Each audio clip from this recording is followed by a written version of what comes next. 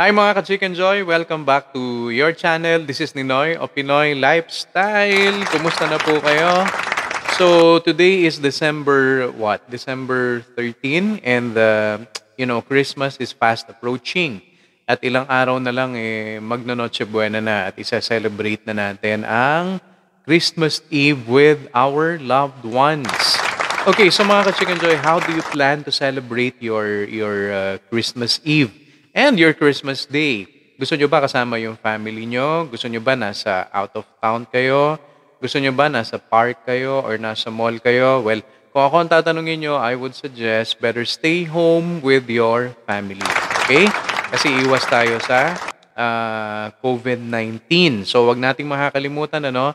Actually, may directive na ang government eh, na talagang pinagbabawal ngayon ang, uh, you know, social gatherings, no? Baka makalimot lang tayo na tayo ay nasa gitna pa rin ng krisis uh, dulot ng COVID-19. At itong krisis na to ay, uh, I would say, worldwide uh, pandemic po na tinagurian ang COVID-19 because it's not happening only in the Philippines but it's happening around the world. Kaya, yun, mag-ingat-ingat tayo, no? Uh, gaya nga ng sinabi ko, mas maganda siguro, let's celebrate Christmas Eve and Christmas Day with our family. At congratulations sa mga ninong at ninang dahil, okay, uh, iwas po tayo sa dalawang bagay. Okay? Iwas na kayo sa coronavirus at iwas din kayo sa gastos kasi po pinagbabawal pong mamasko ang mga chikiting, ang mga inaanak. Kaya ayan, double celebration kayo mga ka-chicken joy, no? Uh, doble iwas tayo sa coronavirus at sa okay, sa gastos. Totoo naman, ano, ah, hindi talaga ina-allow muna ang mga bata na lumabas dahil nga, you know, mas may expose sila sa public and uh, uh, mas mataas ang risk kasi kapag, ka, you know, uh, mas mas uh, na-expose tayo sa sa mga tao na hindi natin kakilala. So let's just celebrate Christmas, no? Uh, observing safety. Uh, that should be our number one priority, mga ka-chicken joy. Kailangan uh, safety comes first, okay? And uh, let's just celebrate Christmas with your loved ones, okay? Pwede naman kayong mag-bonding. Uh, you know, the usual Christmas celebration na ginagawa natin sa loob ng ating mga tahanan. So, kompleto na ba yung Christmas bucket list natin mga ka-Chicken Joy? Well, let's start to make our, you know, uh, Christmas bucket list kasi hindi natin namamalayan sobrang bilis ng panahon uh, mamaya ma- maiisip na lang natin the following day pala ay Christmas na. Okay? Kaya yung mga you know, market list natin, yung mga pamimili natin, uh, mas maganda siguro mas makapamili tayo na mas maaga. Alright? Para iwas din tayo sa exposure sa public. Lalong-lalo na kung pupunta ka sa palengke, supermarket. Alright? O kaya mga grocery stores. And uh, gaya nga na sinabi ko, hindi naman natin kailangan ng masyadong maraming handa this coming Christmas. Simple Christmas celebration will do. So, uh, ano ba yung uh, typical na hinahanda natin tuwing uh, Noche Buena? I would say magluto tayo ng mga siguro mga isang putahe, uh, ulam, uh, pwedeng uh, I would say adobo, pwedeng embutido, pwedeng sinigang, pwedeng nilaga, pwedeng tinola.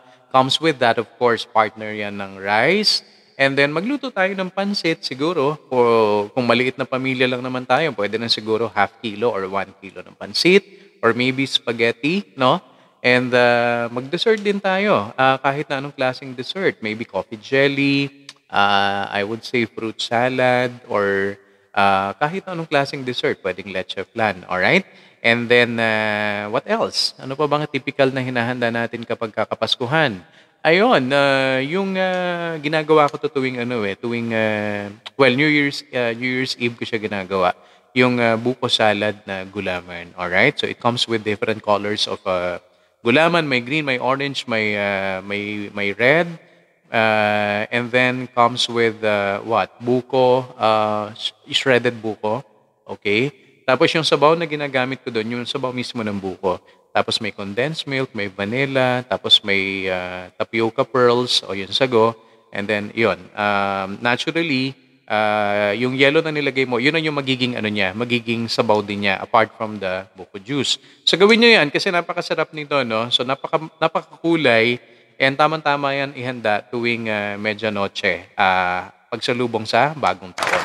Okay? So, let's make our celebration simple. Maging practical lang tayo ngayong uh, Christmas Eve and uh, uh, New Year's Eve. Hindi natin kailangan na gumastos ng husto kasi kailangan mag-save tayo because we, nev- we can never tell kung anong pwedeng uh, you know, mangyari in the future. So, bukod sa safety, kailangan din uh, yung savings, no? Huwag nating kakalimutan. Okay? So, mga ka-Chicken Joy, for today's video, ang haba ng intro. Alright? ang haba ng intro. Uh, anyway, reminder lang naman yun, ano? And uh, I'm sure makakatulong ng gusto sa atin to mga ka-Chicken Joy. Yung intro natin na pagkahaba-haba, ilang minutes ba yan? 5 minutes inabot. Anyway, for today's video, bibigyang uh, daan lang po natin yung uh, question ng isa sa ating mga ka-Chicken Joy patungkol sa leave credits. Alright? Um, ang leave credits po, uh, usually, uh, based on labor standards, 5 days service incentive leave lang po talaga yung uh, aprobado ng uh, labor code. So, meaning to say, uh, kung ang company uh, cannot afford to grant more than five, more than five days uh, as a form of you know benefit uh, na, na, leave, na, na leave credits, pwede siyang mag-stick dun sa 5-day service incentive leave. So, ang tanong is, uh, meron na siyang 5 days SIL or service incentive leave. Pero, uh, direct hire siya and 2 uh, years na siya sa company, naka 5 days SIL pa rin siya. Uh, may karapatan ba siya mag-demand na taasan yung leave credits niya? Actually, yung 5 days SIL, walang na-violate ang company natin mga ka-Chicken Joy. Ano? Maswerte na tayo kung nadagdagan pa yung vacation leave mo ng, let's say, uh, 8 days, 10 days, or 12 days. Ang pagdadagdag uh, ng vacation leave uh, on top of the 5 days service incentive leave approved by labor, it's just a bonus. Ibig sabihin kung able naman yung company mo, sustainable, and uh, you know, uh, generous naman ang company. So pasalamat tayo kung may maidadagdag pa on top of the 5 days service incentive leave. Pero kung ang company naman natin ay maliit lang, uh, small medium enterprise lang at hindi talaga kayang magdagdag pa ng additional vacation leave, pasalamat tayo kasi meron tayong 5 days service incentive leave. Okay? So kung ang tanong mo ay uh, demandable ba to sa part ng employee, ito po ay hindi. Ito po ay uh, company prerogative.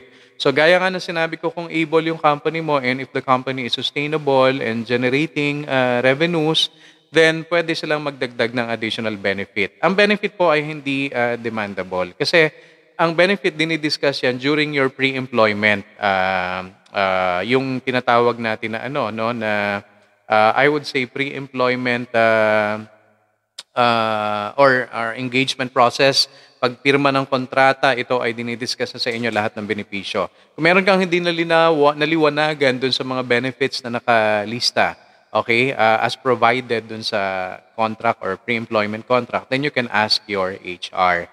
Pero kung magde-demand pa tayo ng mas maraming benefit, uh, depende po yan. Kasi gaya nga po ng sinabi ko, uh, i-confine natin dun sa leave credits na dinedemand mo na dagdagan pa ng company. Depende nga po yan kung anong programa meron ng company. So, if your company stick to uh, five-day service incentive leave, wala pong na-violate ang company doon. Alright? Uh, prerogative ng company kung siya ay magdadagdag pa ng mas marami pa doon sa five days. Yung iba kasi ginagawa nila, depende sa number of years of service. Habang tumatagal yung iyong serbisyo sa company, uh, depende sa uh, dami ng taon, kung makalimang taon ka, makasampu, maka 15 years, may programa yung ibang organization na dinadagdagan nila ng additional leave credits yung uh, empleyado. Okay? Pero kung nag-stick sila sa 5 days, I think wala namang na-violate ang organization. Let's be thankful and grateful kasi meron tayo.